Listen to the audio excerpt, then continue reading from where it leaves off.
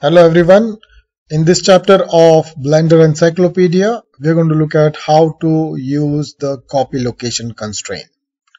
Alright, for that what I'll do is uh, move this cube up and create another cube, move it down. I'm going to scale it twice and I'll be a little specific about it 0.25 in X and 0.25 in Y. If I hit the 1 key, see the location, and then I can go and turn on the snap so that it can snap. Let me put it at 0 first so it can snap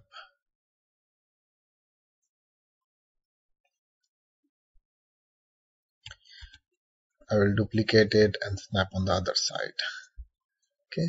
So we will name this uh, head this we will call left.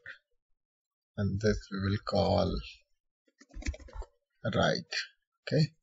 So we'll select this object apply all transforms. Object apply all transforms to delta. Object apply all transforms to delta. Object apply all transforms to delta. Everything becomes clean. Uh, constraints are rigging elements so it's important that animators get clean slate when they're working on it. So the copy constraint how it works is uh, whenever a constraint is added that object is going to copy the uh, we are going to look at locations. So whatever the location of this object is, this object is going to copy that uh, location.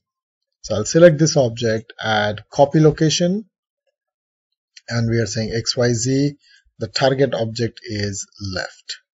Okay, so you can see that it immediately snaps to left, but I'll say keep offset. If you select this, the other object moves as well. But there is in influence and I want to say 0.5 so it will only have half the influence on that object. Okay so you can see that this object moves more and the other object moves less. Now I want to do the same thing again. And you can see left. Now we will add right. And again offset.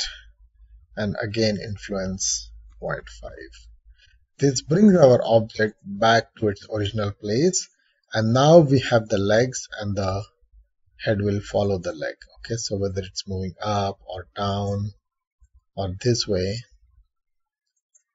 it's going to follow it.